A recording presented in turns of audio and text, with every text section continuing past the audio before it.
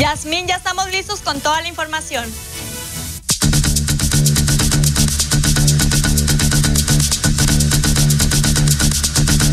Amigos, un gusto saludarlos.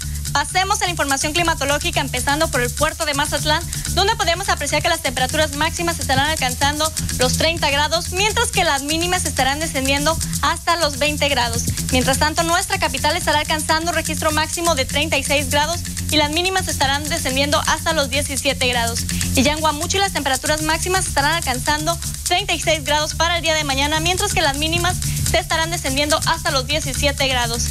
Y en Guasave las temperaturas máximas están alcanzando los 36 grados para el día de mañana, mientras que las mínimas estarán descendiendo hasta los 17 grados y una condición de cielo mayormente despejado para las próximas 48 horas. Y en los mochis las temperaturas máximas estarán alcanzando los 33 grados y las mínimas estarán descendiendo hasta los 17.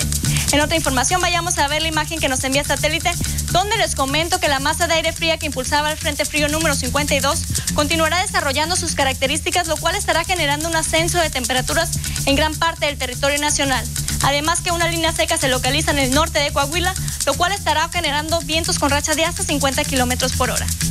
En otra información, la entrada de humedad preveniente de ambos litorales continuará el desarrollo de nublados y lluvias aisladas desde el norte hasta la península de Yucatán. Ahora vayamos a ver las temperaturas actuales en nuestro estado, donde podemos ver que nuestra capital está alcanzando los 30 grados, mientras que Guamuchil y Guasave están alcanzando los 31 grados hasta esta noche. Ahora vayamos a hacer un recorrido en lo largo y ancho de nuestra república, empezando por la mesa norte, donde Chihuahua está alcanzando un registro de 27 grados, al igual que La Paz. En el occidente y centro las temperaturas se varían desde los 24 grados para Tepic hasta alcanzar los 30 grados en Guadalajara y en Colima. Ya en el sur y sureste las temperaturas varían desde los 17 grados para Jalapa, los 25 en Oaxaca y Villahermosa está teniendo un registro de 26 grados.